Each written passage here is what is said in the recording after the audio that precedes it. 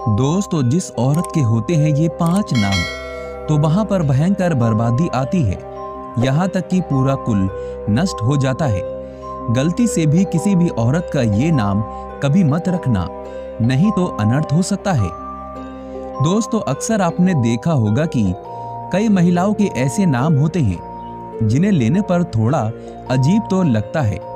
ऐसे में आज हम आपको कुछ ऐसे नामों के बारे में बताने वाले हैं। जो खासकर महिलाओं के कभी नहीं होने चाहिए। शास्त्रों के अनुसार महिलाओं के ये नाम रखने पर या उन्हें इस नाम से बुलाने पर भयंकर बर्बादी जैसे परिणाम मिलते हैं। इसीलिए गलती से भी किसी भी औरत का ये नाम कभी नहीं होना चाहिए। नहीं तो कुछ भी हो सकता है। तो चलिए जानते हैं। दोस्तों नंबर वन, गांगधारी। गांगधारी एक वृद्ध और महान शक्तिशाली महिला थी। इनका विवाह कौरव वंश में हुआ था, जिसके कारण इसने दुखों का सामना किया और इसके सभी पुत्रों की मृत्यु हो गई थी। इसीलिए कोई भी व्यक्ति गांधारी नाम किसी भी महिला का नहीं रखता और ये नाम रखना किसी को पसंद नहीं है।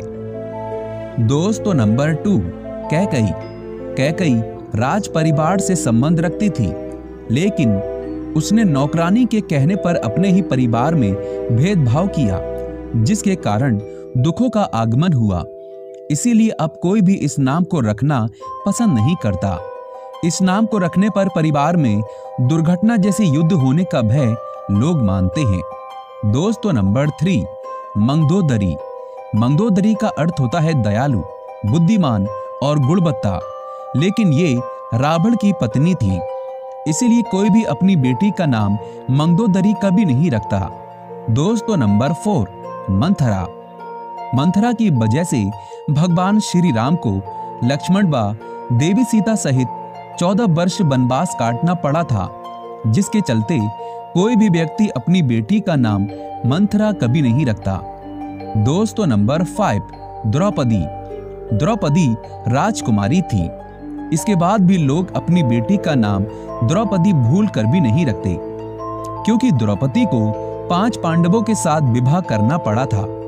और इस बात के चलते कोई भी माँ अपनी बेटी का नाम गलती से भी द्रौपदी कभी नहीं रखती। दोस्तों, अब बात करते हैं नंबर सिक्स की, सूर्पनखा। सूर्पनखा रामायण की एक दुष्ट पात्र है।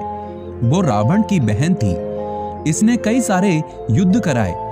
सूपे जैसी नाखूनों की स्वामिनी होने के कारण उसका नाम सूर्पनखा पड़ा। परंतु कोई भी माँ बाप अपनी बेटी का नाम सूर्प नखा कभी नहीं रखता। दोस्तों, आपके क्या विचार है कमेंट बॉक्स में ज़रूर बताएँ। और हाँ एक लाइक तो बनता है।